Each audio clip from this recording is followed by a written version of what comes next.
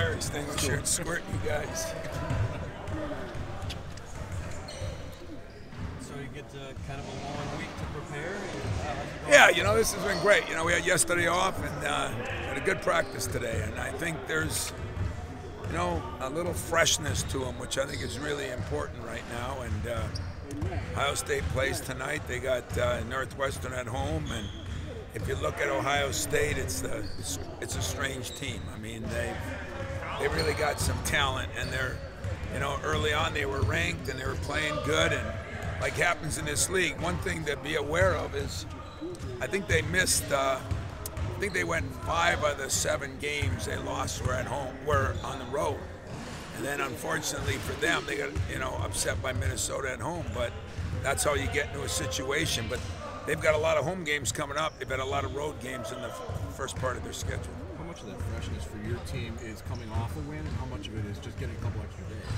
Well, I think both, but I think coming up a win always helps. But I, I really think it's the days, and you know, I, I really do. Um, as you know, our schedule's changed a little bit here in the last week, so um, we got a little more time for the last game, and then we got time for this game. When I say time, it's just normal time. It's just not the normal that it's been. When you look at them, Tom, do they, do they kind of personify the, the weirdness of the league this year in terms of maybe just, I guess, the, the danger of a team that's lower in the standings? Oh yeah, I mean you got to remember. I think they were ranked as high as 13th. You know, um, they had North Carolina all but beat and lost that game. They, they played some other teams and played them well. Um, so the first part of their schedule, they were really good. You know, they won their first two Big Ten games, and then like I said, there's a difference between being on the road and not being on the road.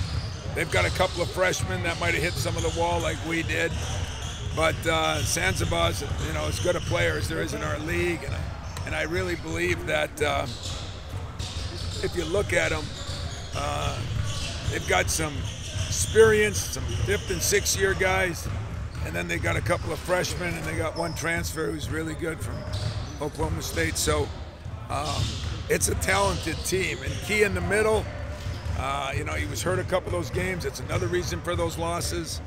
Uh, he's back almost full go now, and uh, I'm telling you, it's, it's a really good team.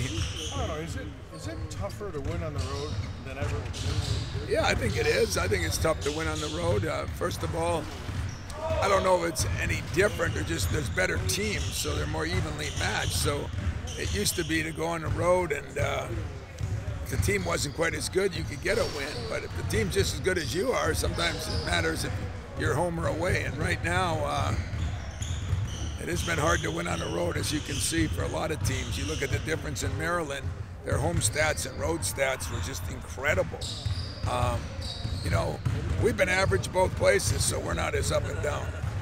Wonder if the Big Ten's a little old school. I mean, Purdue seems to be above everybody, but everyone else is clogged together, kind of like the old days. I don't ever remember. I've been in this league 38, nine years, and I don't ever remember it clogged like it is now. I mean, there's more seven and five, seven and six teams, and I mean good teams, you know. And so it makes it look bad because of the crazy net and all that stuff that the uh, analytics people do. Uh, what really matters is there's some good teams in our league. You know, right now, you know, Indiana's playing as good as anybody. Iowa's playing really good. Uh, Illinois has been playing better. Uh, so, you know, Maryland was on a hot streak. Rutgers is, is a very good team. I just think there's a lot more really good teams. Maybe not as many great teams, but definitely not any poor teams. I mean, Minnesota, with their, with their record is poor, but if we had three guys out like they've had, including their best player at center, we'd probably be in the same boat.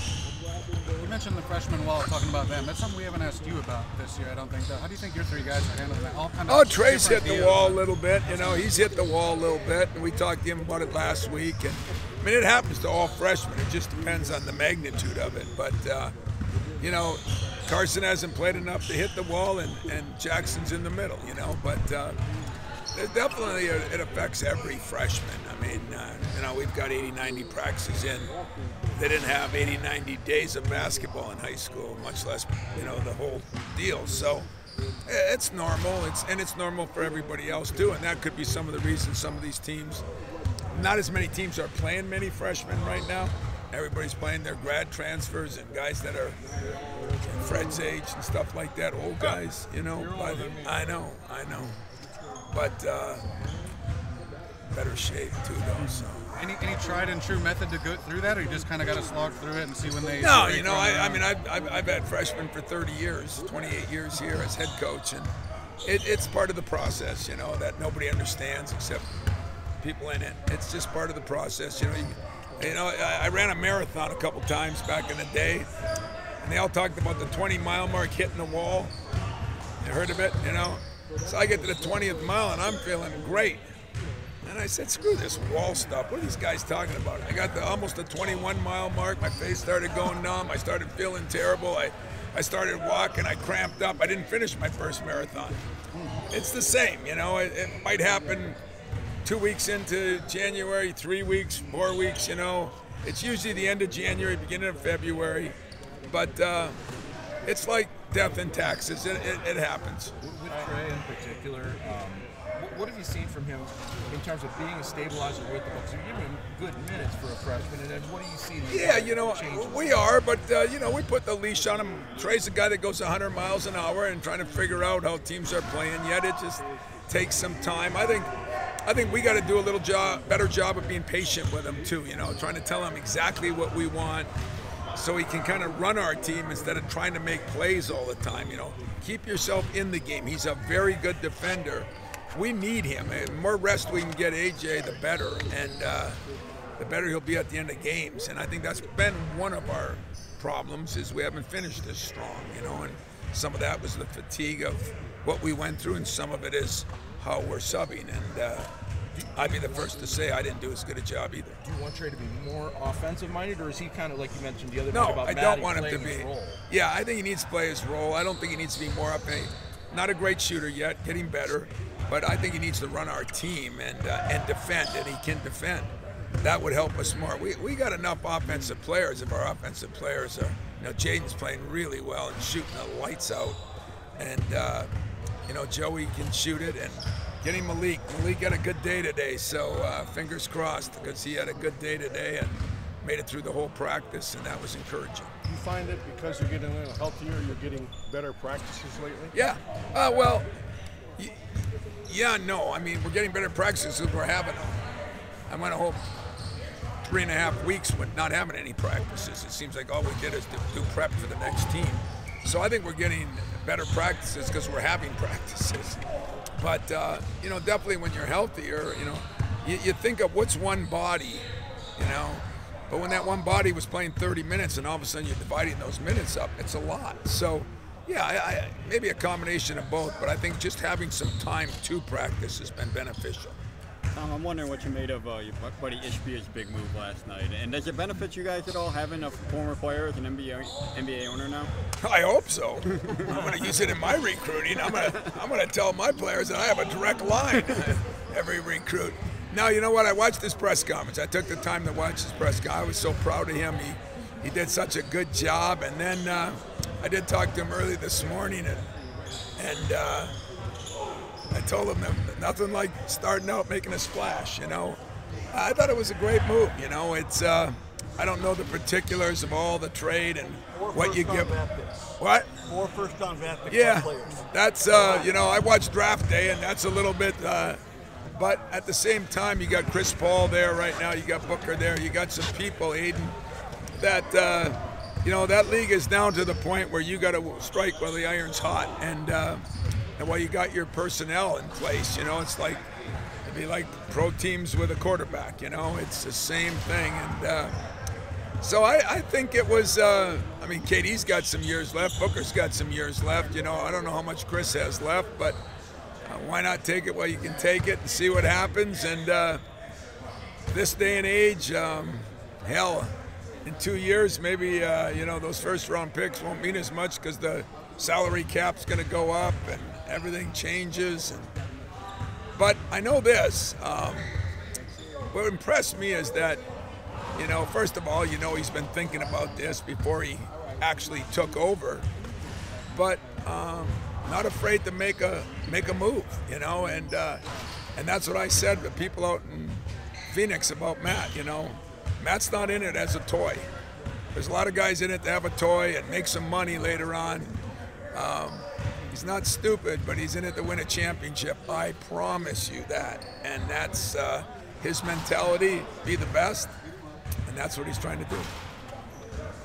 When uh, you looked at the film, was Maryland exceptional with the defensive box outs, or did you guys have not guys that weren't? No, we did a terrible job, terrible job of even going to the offensive glass. Our wings didn't go at all. Um, we usually have guys that go. Um, I mean, I'm sure Maryland did a better job because usually when they play us, that's that's high on the scouting report. But uh, I can't give anybody credit for that. I can give me and my team a lot of blame. That that's ridiculous. And uh, so you can bet tomorrow and the next day uh, we're going to be working on offense. Is that the lowest figure you can remember for one of your games? Yeah, because in my mind it was none. Two team ones, that ball went out of bounds or something. It was none. So that was the lowest I can remember. But but I'd rather, again, win ugly than lose pretty. It's one thing I'm getting smarter at. Looks like the transition game showing some sparks here. Did against a pressing team, and that was encouraging.